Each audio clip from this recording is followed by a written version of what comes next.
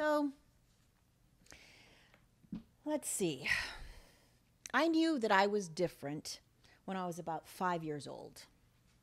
We lived in Kassel, Germany, on an army base where I went to American kindergarten. The teacher there, Mrs. Smith, had me sit at the back of the class with the only other black kids, three of us in a row. I figured it out sort of then. Something was up. And I remember at one point I asked my mom, who's white, why does daddy have to be black? So uh, when I was 15, I was a, a, day student at a private Catholic boarding school for girls in Northern California, very hoity-toity. And there was an audition for a Shaw play, Androcles and the Lion, at this private boys' school nearby. And since they needed a female lead, the director held an open call at our school. Uh, I was so excited because I knew this lead role of Lavinia was just perfect for me, perfect. She was the noble born Roman who was persecuted when she converted to Christianity. This was me. I knew this role. So by this time, also, I'd proven myself, my acting chops at my school. I was, you know, in all the productions and all of that. I felt pretty confident. And I auditioned and I killed it. However, a girl from another school also auditioned. And I remember she had waist long, dark brown hair and pale skin and freckles everywhere and piercing blue eyes. she had also admitted there that she had never acted before and auditioned on a whim without even preparing. So the opposite of me. I also remember, for some reason, exactly what this girl wore at the audition. Baby blue bootleg Lee cords, a very cool embossed uh, brown leather belt with a big brass buckle, white Tretorns, that was the rage then, and a dark blue cotton floral blouse with short puff sleeves. This was the late 70s. the cast list was put up on the school bulletin board right there, and I looked. I looked again, and my name wasn't on it. Classmates who were at the audition came up to me and said, But Mimi, you were the best one there. I was numb. I, I wanted that part. I was right for that part, not that girl with the freckles. And I, I don't know what it was. Maybe it was her long hair, but Lavinia was my part. She was beautiful and strong. She was arguing against oppression and hypocrisy. In the face of death, she would not conform. You know, when she was confined with the, with the Christians, she, she dared to even flirt with the, the Roman captain, standing her ground, saying, No, but my faith, like your sword, needs testing. Shaw gave this young woman this voice, my voice. That night, I got a call at home from the director. and he said I was so good that he still wanted to have me in the play. Aha! He made a mistake.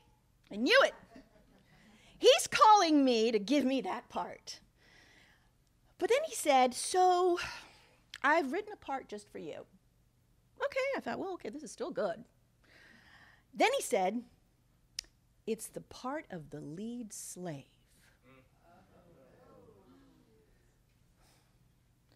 Did I hear him right? slave number one?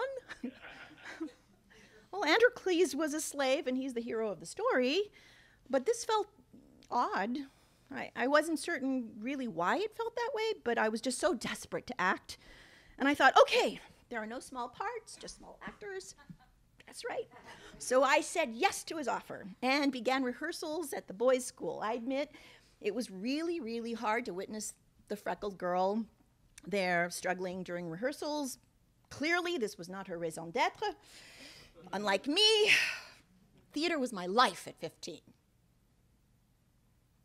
This was also the first time that I ever acted on stage with boys. I went to a girls' school. Um, so I had crushes and uh, rehearsals were odd. I was the only person of color there. One white boy that I liked kept trying to high five me, as if this came naturally to me. It didn't. you know, mind you, it was the 70s, and you know, it was all about high fives and expressions like far out and keep on trucking, and peace signs were everywhere. And this was the era of the smiley face, and you know, black power was in the air. Something about a love of watermelon and fried chicken came up at some point from one kid, but I swallowed my pride and thought mostly of the part I was playing. I was going to be the best slave number one ever in the Roman Colosseum. Yet, I felt very different during this time, even on the planks, where I always felt comfortable. I always felt comfortable on stage. This was home.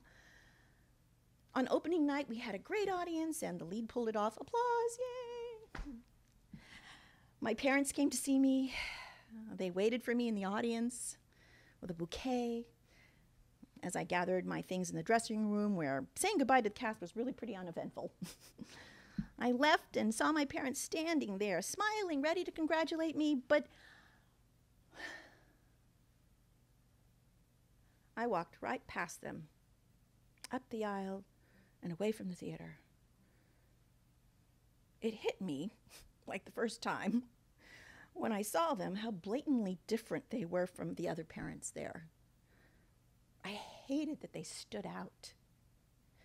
I did not want to belong to them. I didn't look back. When we got to the parking lot to the car, my dad asked, what, What's the matter? And I said, Nothing.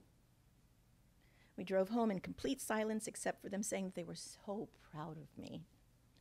And by the time we got home, I was so sick with this feeling, right here, this feeling. This loving couple who worked seven days a week so I could be in this play at that school. I walk right past them in public. Shame on me. Shame on me. So I sat them down in our living room that night and boldly asked my dad why he married a white woman. Why did you marry mom? He said, It's because I loved her. I love her. And I asked, Are you ashamed of your race? Because in marrying mom, he was moving away from his people. He said they both faced challenges, but they both made a choice. So when I announced my identity, my blackness, my mother said again, as she often did, But you're not black. I knew what she meant, my mom, in her thick French Bordelaise accent, mixing with the Tennessee regionalism that she'd picked up from my dad. she saw me as more than one thing. But I corrected her this time. No, Maman, I am black. I am black and I am white. You cannot say this anymore. I am. They were very patient with me that night. I cried. I vowed to do something with this discomfort that I felt of being different. The next week, I made a haircut appointment and asked the stylist to cut off all my long, straightened hair and give me a natural. You know what a natural is, right? I was free, scary. And that week, I also happened to win a lottery prize at an Indian import store where I chose an outfit to wear for free dress at school.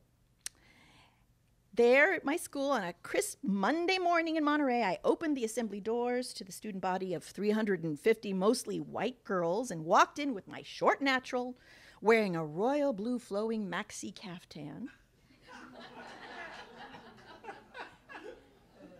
And my earth shoe sandals. I had arrived. I was witnessed. I felt all eyes upon me.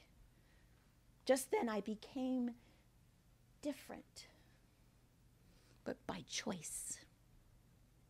I knew that I'd better embrace, embrace, embrace this difference or suffer a lifetime of shame ignorantly placed upon me by others. So, for Shaw and Lavinia, God bless her, and for this, I am forever grateful. Thank you.